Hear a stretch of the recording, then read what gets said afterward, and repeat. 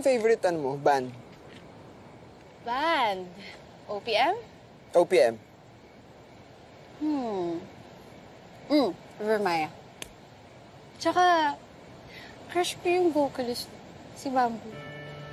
Mas magaling si Rico. Rico, no?